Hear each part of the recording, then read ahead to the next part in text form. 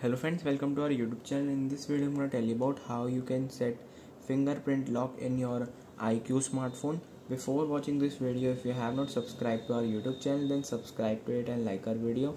So let's start friends. First you have to simply open your settings then click on security. Here it is fingerprint. You have to simply click on it. And friends here you have to first enter the passkey here it is start enrollment. You have to agree this. And you have to just simply place your finger like this. And you have to just simply click on tap tap.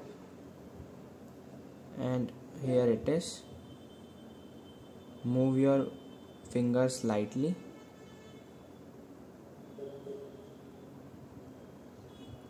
and friends you can see click on done. And your fingerprint sensor is now created. When you just simply turn off your smartphone and you can just turn on by your fingerprint. I hope you like this video. If you like this video then subscribe to our youtube channel for more helpful tips and tricks videos. See you next time